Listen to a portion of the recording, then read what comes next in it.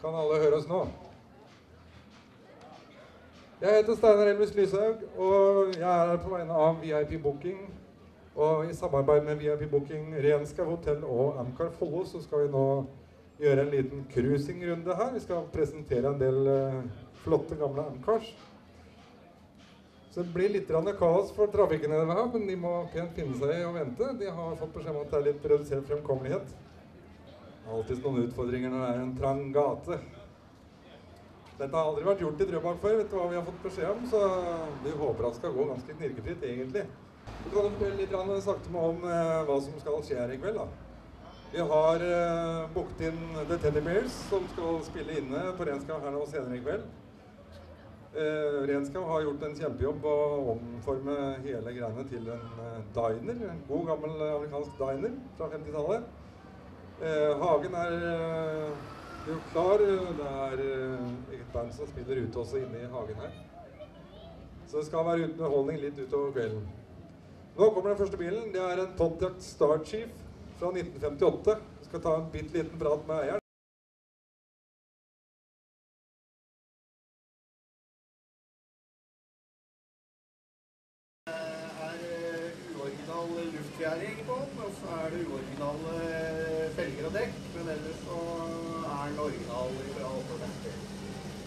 Flammer på siden.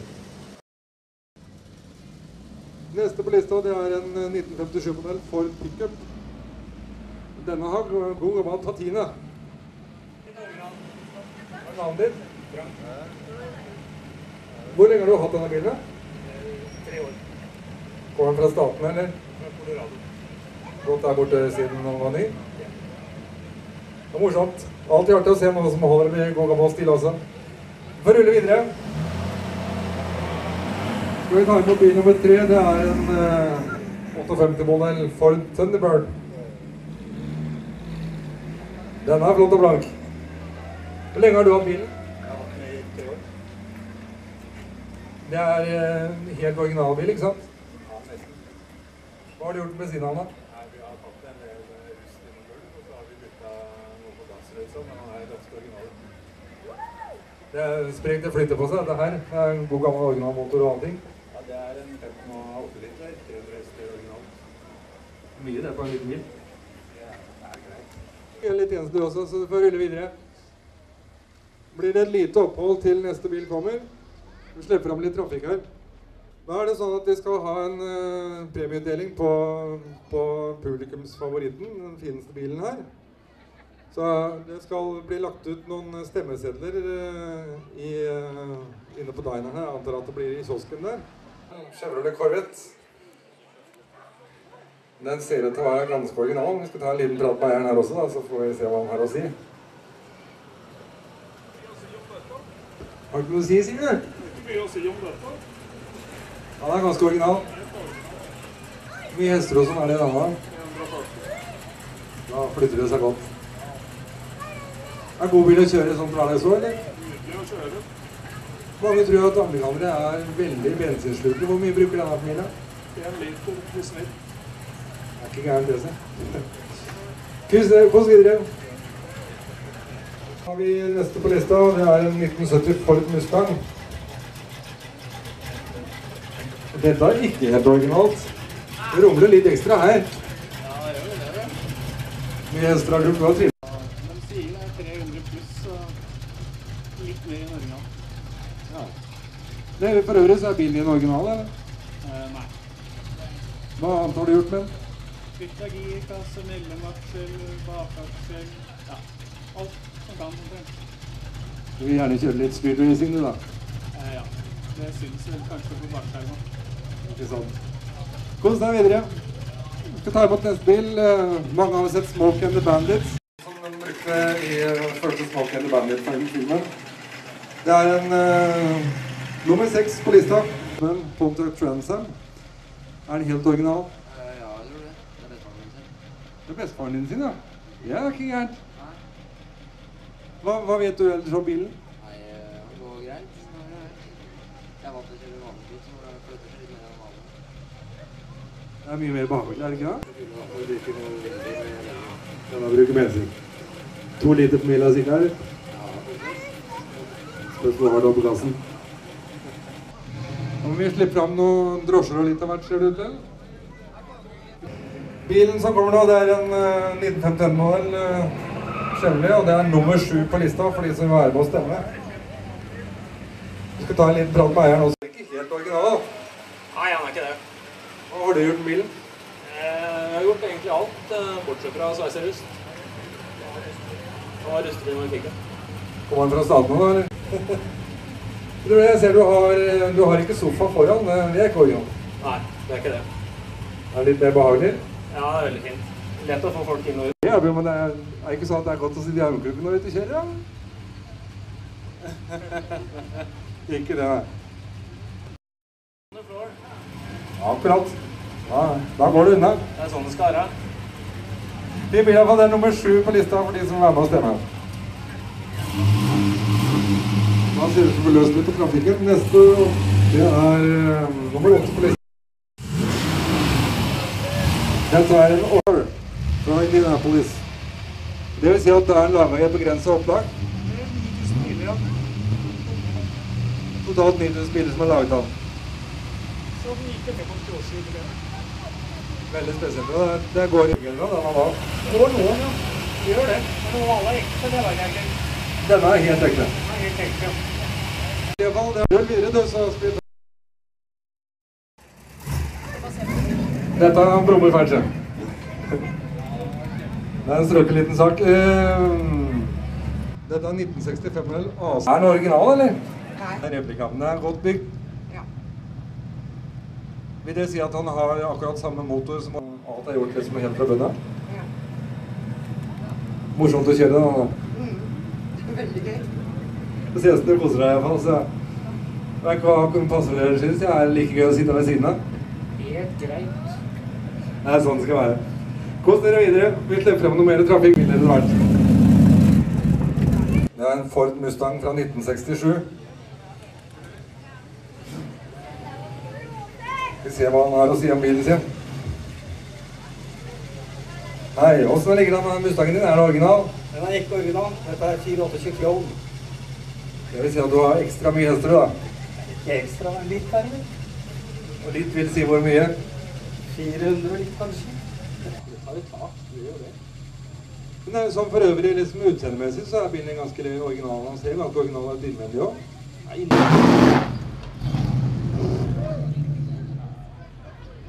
Røyklegger alt her. Neste modell, den er også blant på fin. Det er nummer 11 på lista, en 1967 Pontiac GTO. Du har jammen en stilfull veske bak her som passer til bilen, du. Ja, en liten en som står ute av vinduet på andre siden. Du har ordentlig pynta for anledningen. Det er bra. Hvordan er det med bilen din? Er det original? Ja, stort sett. Den har vært ny i Norge, eller kommer den fra USA? Den kom til fra, eller kom til Norge fra statene i desember i fjor. Hvor i staten har den gått? California. Da har den vært der siden den var ny, da. Ja, stort sett. I, i Boise i Washington, staten Washington, som er rett ved California. Hvordan er det med lakk og sånn? Er, er den originallakk, eller da er den i tilfelle veldig blank og fin? Er totalrenovert ferdig i slutten av 2008. Det er ganske strøkent eksemplar iallfall. Nå kommer det noe helt spesielt her. Det er en link til Continental fra 1979. På lista så er det nummer 12. Og dette er en bil i begrensa opplag. En eh, Bill, Blaze Edition. Bill Blaze, helt korrekt, er lager ca. 2500 biler av denne i verden. Ligger laget med mange forskjellige egentlig, sånne begrensede opplag. Men denne er eh, en av disse versjonene. Og Bill Blass, hva er det som gjør den spesiell? Dette her er en bil som egentlig hører hjemme i Drøbak, fordi at eh, han som designa denne er eh, båtdesigner. Og det gjenspeiler seg i bilen med tanke på blått og hvitt og kalesje. Dette er, ser ut som en cab, men det er faktisk ikke det. Så det er bare fake alt sammen. Men det skal passe for båtfolket. Det var bil, bil man skulle bruke når man skulle på yachten. Nemlig. Det er en flott bil iallfall. og Det, det, det det går ikke så mange av disse her i Norge egentlig heller. Nei, det er i underkant av ti etter det jeg vet. Ja. Veldig flott bil iallfall. Rull videre, du.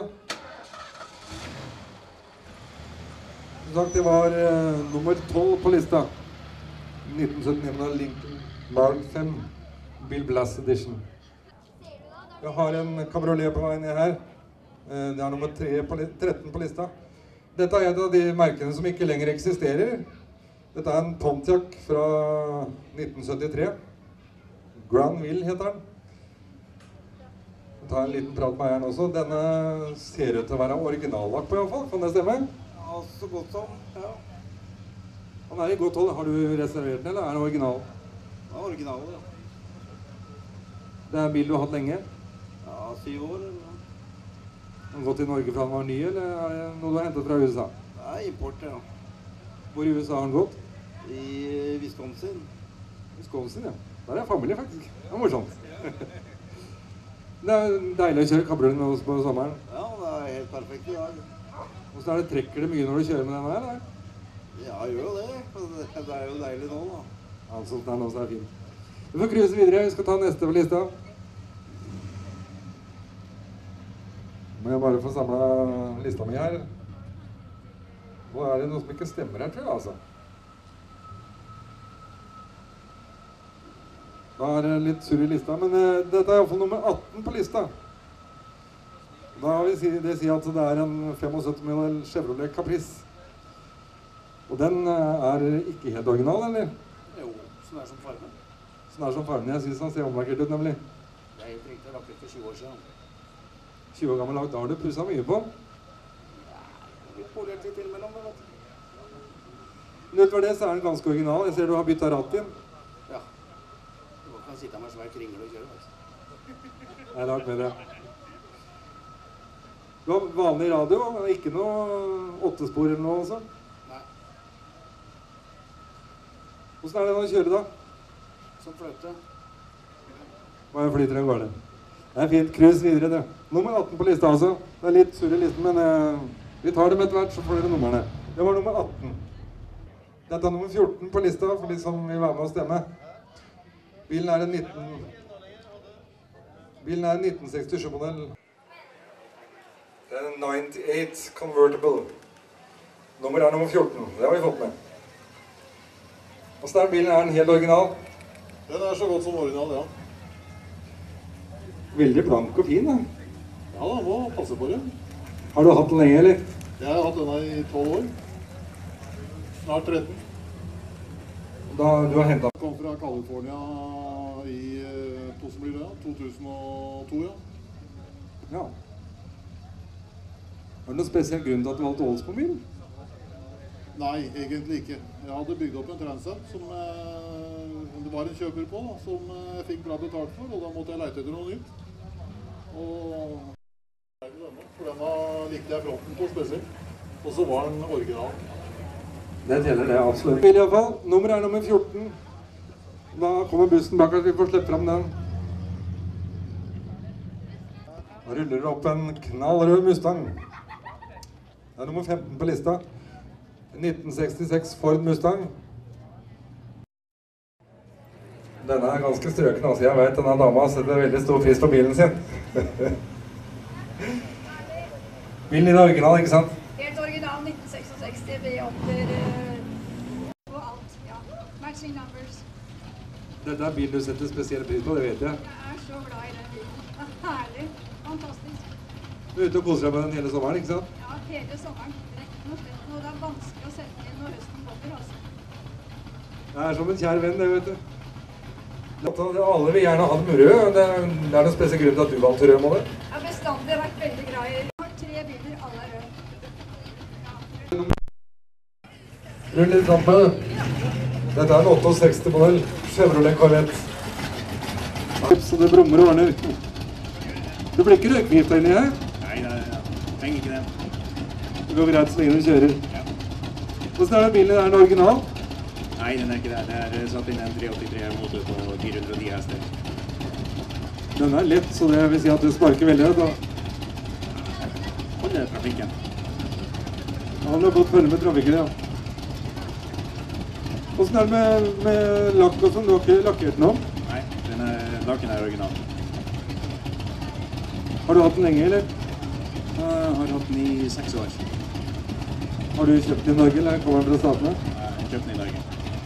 Vet du noen historie på den utover, eller? Eh, Han ble tatt inn eh, til Norge i 99. Og eh, hvis du ser på nummerskiltet, så han som tok den inn, han hadde fødselsdato 4.7.80. Derav 4780. Nemlig. Sånt er morsomt. Må ha litt detaljer. Rull videre, du. dette var nummer 16. Rommer, Brommer. Går det Mustang til? Nummer 17 er dette. Brolé med Er det triple color, eller? Er det triple color som har matchende både interiør og, og grønne ruter og alt? Ja. Er den helt original? Ja, utenom Men Du har fått kledd dem av i hvert fall, så den er samme fargen. Ja, da står vi stille. Det er viktig. Det er en flott bil. Jeg ser, ser at han ser ganske original ut. Kommer han fra Norge, eller har, han, har dere hentet han fra USA? Den eh, kom for to år siden fra Mississippi. Produsert i New Jersey for Florida, men ikke Mississippi. Nemlig. Ja da. Trivelig med, med sånne fine biler. Det var jo nummer 17 på lista. Det står noe brummer bak her. Denne er ikke helt original. Det er nummer 18. Stor i lista mi igjen. Nummer 18 kjørt i dag. Nummer 19 er dette. Det er 1970 Chevrolet Chevelle SS. Er det originalt, eller har du trimma litt ekstra? Det er nok til å flytte seg. Utover det, utseendemessig og sånn, interiør, er bilen original utover det? Det den. Det er original. Ja, det er jo etterlakkert, men han skal uh, igjen. Det vet vi. Den blir blank og fin neste sommer. Det.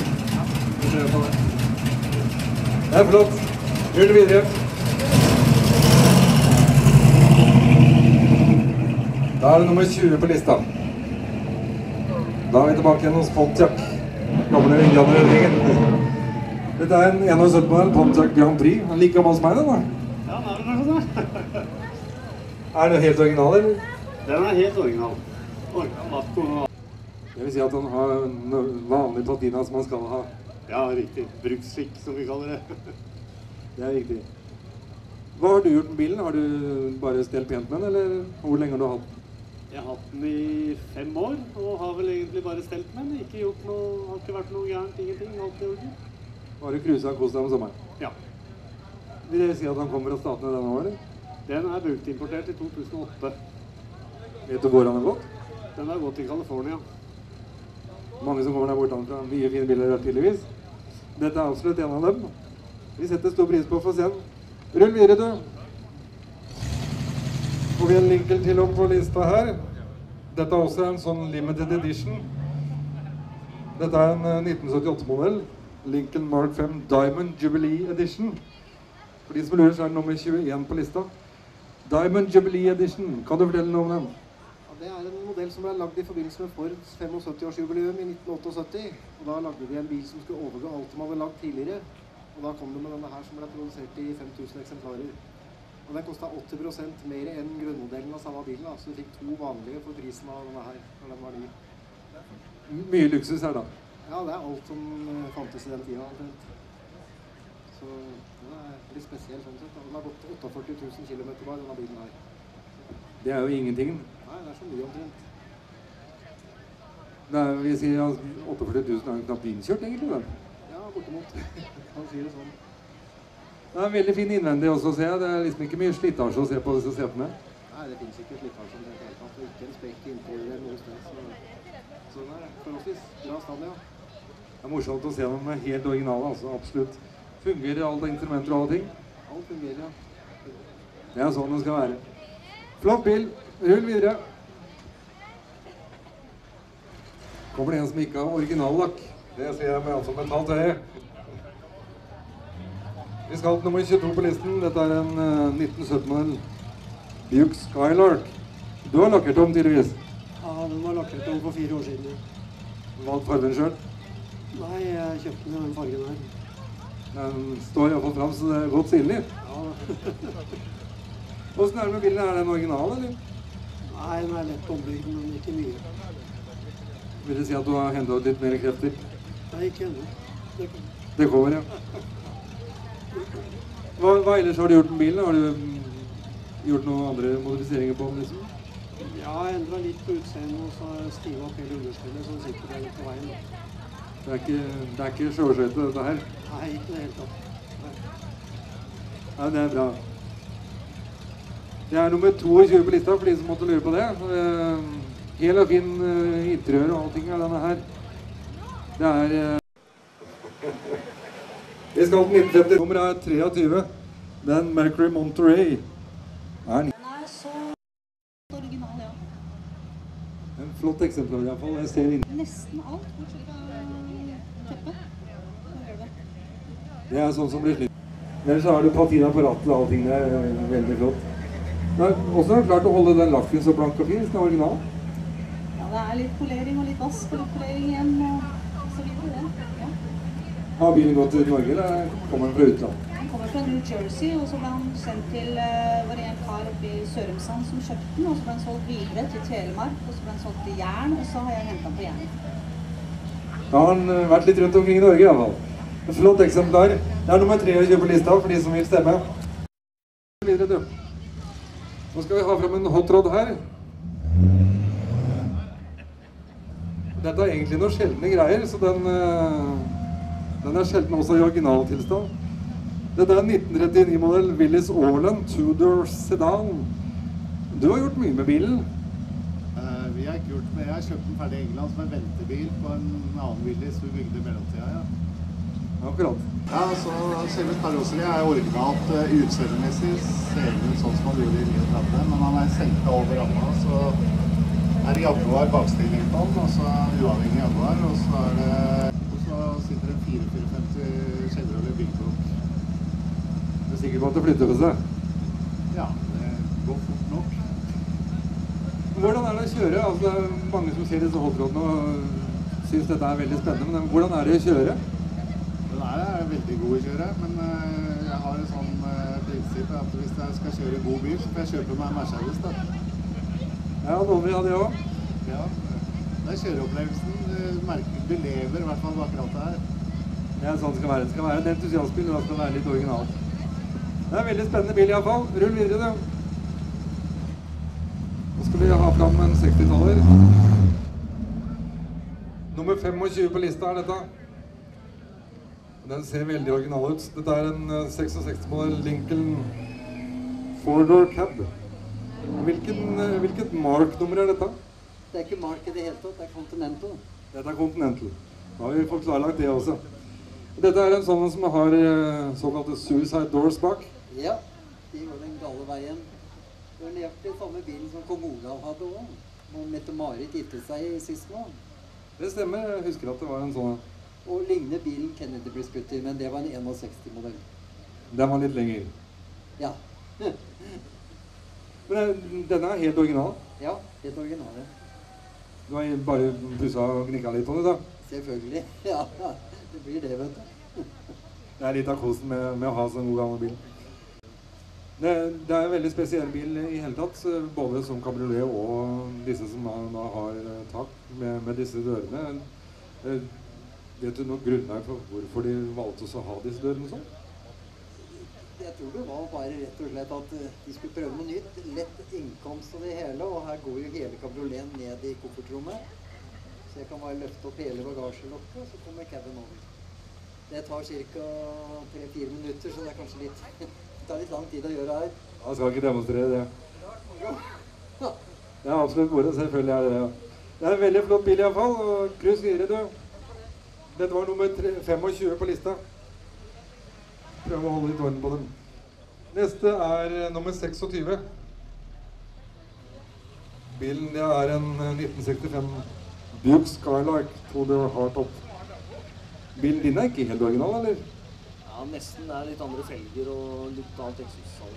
Han har bygd opp og tilnærma som en eh, originalbil. Du har kjøpt den sånn. Har bilen gått i USA, eller er den ny i Norge? Karosseri og ramme er fra USA. Eh, Interiør og motorgir er fra en svensk bil, visstnok. Er bygd opp i Norge i 0506. Nemlig. Det er en godt restaurert eksemplar, altså. Ja, den er stort sett bra. Litt småting er det jo alltid. Det er sånn en gammel bil skal ha litt å drive med. Det er klart. Det er flott eksemplar iallfall. Rull videre, du. Vi er kommet til nummer 27. Det er nok en eh, Mustang. Denne gangen eh, er det en eh, 64 Ford Mustang Convertible. Du har til og med rekke bak på, på bagasjelokket, du. Ja, jeg sånt har koffert på, men jeg mangler kofferten. da. Det er ikke så mange som har de. Det er sjelden å se. Ja, det er en sjelden option. Det er det. Ja. Ut- Utover den, du har ganske original bil, har du ikke det? Eh, Helt original, ja. Med en spennende lapp her. Hva, hva, hva sier den? Nei, du sa 1964, men det er 1965. Ja. 1965-modellen er bygd i San Jose i California. Den er en 82-modell V8-motor. Standard interiør, convertible, vintage, burgundy metallic farge. Black crinkle vinyl, standard interior står det her. Og den er levert fra fabrikk eh, 17. desember 1964. Automat og full bakpå på. Det er en veldig flott bil iallfall. Artig å få se disse som er helt strøkne originale. Du har ikke gjort noe spesielt med den i det hele tatt? Jo, jeg har gjort masse rart. Jeg har det. Det blir alltid sånn. Det blir alltid ferdig. Det blir alltid ferdig. Nei, det er rart bare. det. Kryss videre, du. Dette var nummer 27 på lista. Så skal vi over til ekstralista mi. og ha mer rart. Trafikken stoppa helt nå? Ja, bra. Vi skal til uh, en som ikke står på lista mi. Jeg må få litt informasjon. Det er en Chevrolet Corvette. Hvilket 63-modell. Er den original? Helt original. Er, er den restaurert, eller? En gang for eh, 20 år siden så original. Det vil si at alt er helt originalt ned til minste skrue. Det, det er jo veldig spesielt. Ikke alle som klarer å få til det. det. det- Hva kan du fortelle om bilen? Er motor og sånne ting? Det er en 327 på 260 hester. Også. her er jo at det er en split window, for det er den eneste som kom i 63. Det gjør hele bilen spesiell. Det split window, det, det er øh, bak her. Det, det gjør bilen litt spesiell, altså. Ja, det er liksom det som er kjennetegnet på den, og liksom gjør at det er en av de grommeste i klassen. Det er det grommeste. Noe av det flotteste som er levert fra Corvette. Rull videre, du. Vi skal ha inn 60 Cadillac Eldorado. Denne ser også ganske original ut. Dette er nummer 29 på lista. Forrige var 28. Bare så vi klarer hverandre. Nummer 29. Hva kan du fortelle om bilen din? Den ser ganske original ut. Prata med eieren. Han vil ikke si noe. ting. Originalbil fra 1960. Har dere gjort mye med den? Nei, vi har skiftat innredning og sånne små greier. Ja. Forrige er en den om, ja. Det er original farge. Ja, Carrara Green. Carrara Green. Akkurat. Flott farge iallfall. Kler bilen. Det er nummer 29 på listen. Vi ruller videre, så vi får neste her. Det begynner å bli mange bak her nå. Mer enn jeg har på lista mi. Dette er nummer 30. Eh, stemmer ikke med hva jeg har på lista mi her. Hva, hva slags bil er det? 64 Impala SS Cap. Er den original?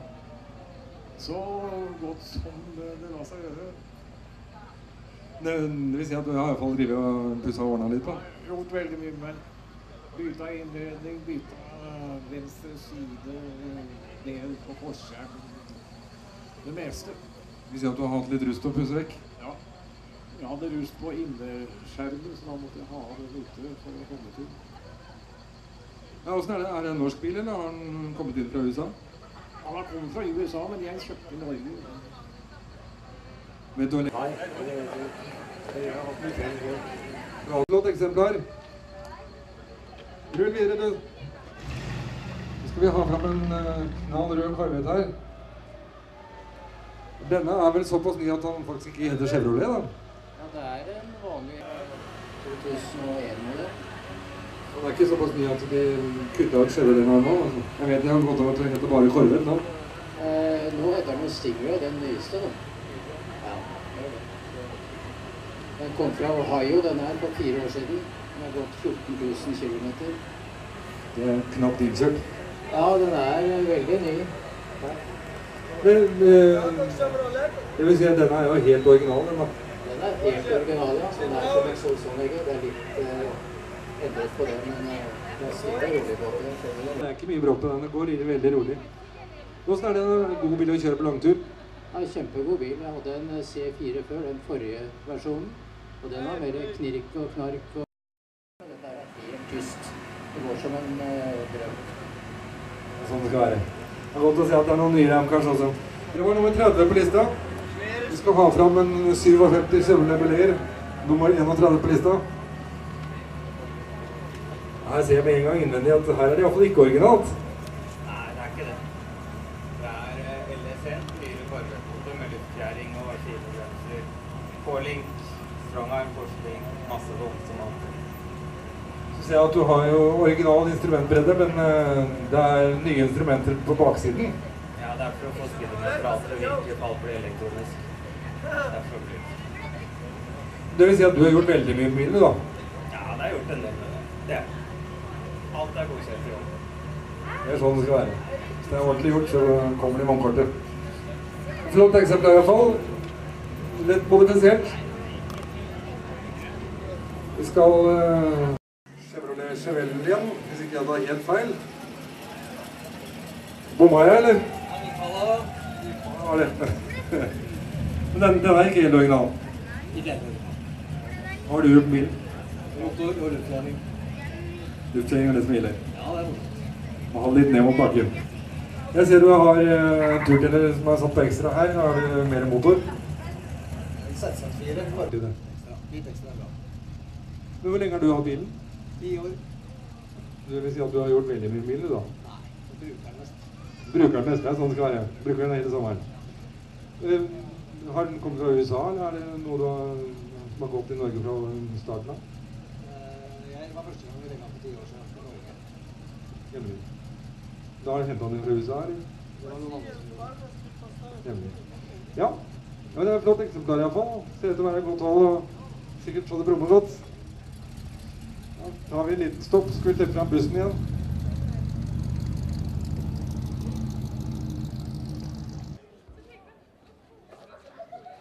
Nå kommer det en flott, gammel 50-tallerrapp her. Jeg skal ikke si årstallet, for det er jeg ikke helt sikker på, for jeg får se litt nærmere på den. Er fra midten av 50-tallet iallfall. Jeg har mine mistanker om at det er en 1956-modell. Og ser ut til å være veldig original. Altså, er sånn. Bedre bil der enn Series 268. Årtallet 1956. Helt bingo. Det er uh, denne modellen som har de verste. Ja, så tar jeg på blinkløs ved siden av. Nei, altså, grillen er litt sånn kjedelig å rette på bilen. Det vil jeg nok tror du. Har prøvd? Nei, gudskjelov jeg slipper. Ja, han ser ut til å være veldig original. Han har, har jo vært bygd opp, men eh, så det er ikke, han er ikke urørt. Men Vi skal kjøre det da. ja, øh, artig sak. Helt flott interiør. Er det, er det originalt, eller er det gjort noe med det? Jeg veit ikke om det interiøret er originalt. Jeg har ikke sett eh, noen fenriker som har det interiøret, men er i hvert fall eh, ser ganske tidsriktig ut. Og det matcher absolutt utseendet på bilen, så Flott bil iallfall. Vi skal få rulle videre. Skal vi ta neste som kommer på lista her?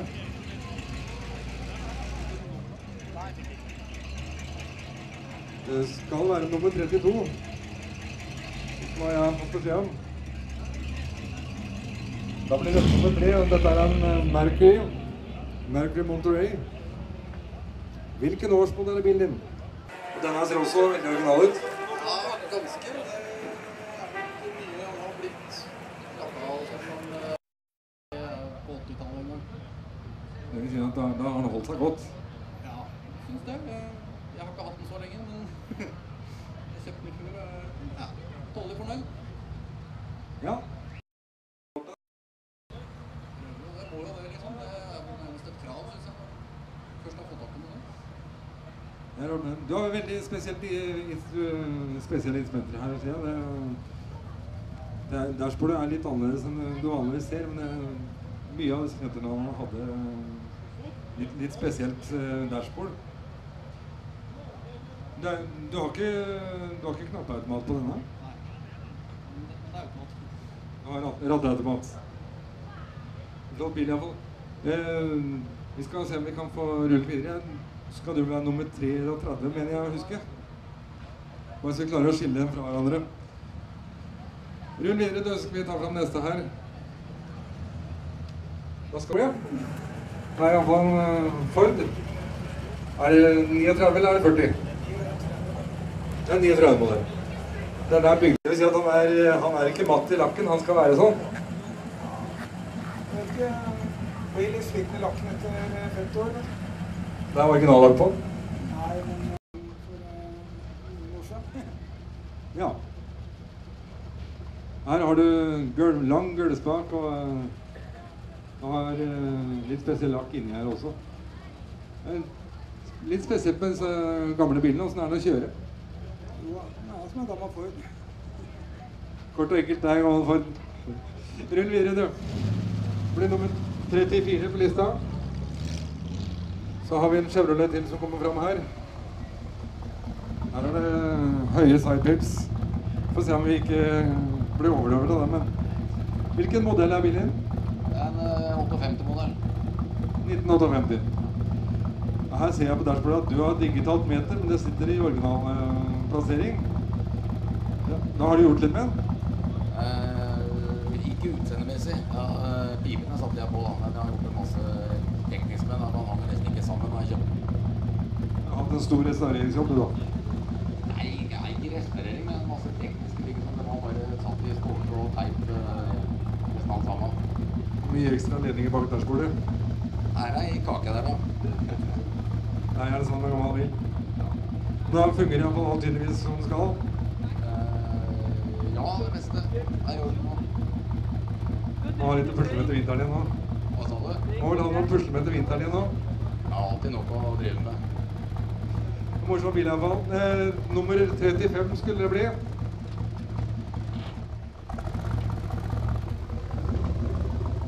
For? Han står rolig inne. Vi har en eh, Mustang som kommer rullende opp. Ford Mustang eh, rundt 1970. Er jeg veldig langt unna? 73. 73. Helt original. Har du gjort noe med den sjøl, eller? Masse rust. Masse rust. Har den gått i Norge? Den ble tatt inn for uh, fire år siden. Hvor i staten har den gått da, hvis den har blitt veldig rusten? Har vært i noe eh, Florida eller noe sånt, hvor det har vært fuktig klima? Ja, stemmer. Godt tenkt. Det er litt å pusle med, men det har blitt veldig, veldig fin. Eh, Er det originallagt på? Nei. Du har all farge sjøl? Nei, han var sånn. Akkurat. Flott eksemplar iallfall. Da ser det ut som vi får litt pause før vi får noen flere her.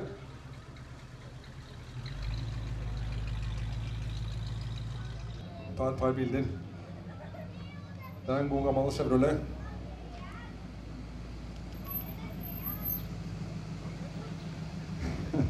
Hvilken årsmodell er dette?